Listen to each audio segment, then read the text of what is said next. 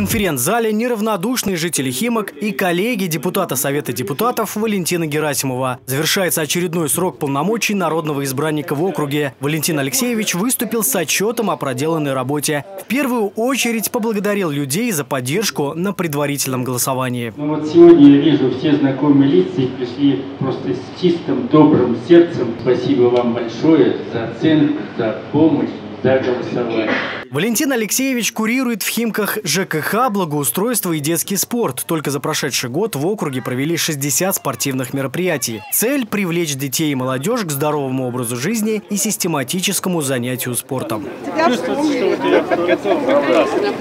Курирует также строительство новых детских площадок с современными тренажерами и безопасным покрытием. Контроль их качества осуществляет лично, осматривает детские площадки, которые требуют реконструкции.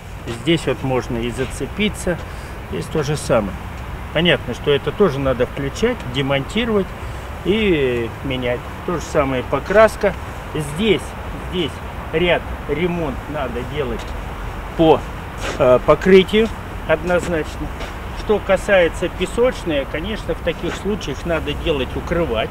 Как депутат Герасимов регулярно проводит встречи с жителями. Например, содействовал появлению парковки у поликлиники номер 3, когда об этом попросили медики. Решал спорные ситуации химчан и управляющих компаний. Организовал встречу жильцов дома 12 на Маяковского, где планировался капремонт, с подрядчиком и управляющей компанией. Люди боялись, что рабочие будут вскрывать полы с коммуникациями. Специалисты объяснили технологию работ, которая устроила жильцов. Участвовал и в общественной работе. За активность активную жизненную позицию жители города избрали Валентина Герасимова лидером движения общественной поддержки «Химки интересно жить».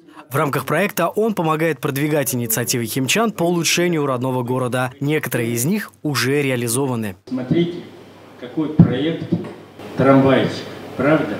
Вы посмотрите, э, сколько экскурсий сегодня Сейчас Валентин Герасимов помогает в реализации и других инициатив химчан. Это создание музея 352-й стрелковой дивизии в школе номер 8, реконструкция набережной Васка-да-Гама, благоустройство дворов и ремонт подъездов микрорайона Клязьма-Старбеева, установка козырьков над подъездом дома номер 17 на Ленинградской улице. Все они размещены на сайте голосования Хиж Онлайн. Валентин Алексеевич уверен, только совместными усилиями, слушая и слыша друг друга, можно сделать жизнь в городе лучше, работая в одной команде. Имея такую команду, я называю ее своей командой, мы э, любую, наверное, почти любую поставленную задачу сможем реализовать. Первое – это то, что благоустройство продолжить дворов, чтобы э, улицы были, дороги безопасными, чтобы детский спорт всегда находил свое место, и дети вышли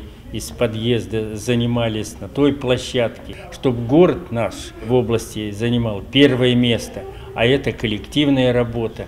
С 17 по 19 сентября химчанам предстоит выбрать новый состав Совета депутатов. Впервые жители будут голосовать не за списки партий, а за конкретных людей в пяти многомандатных округах.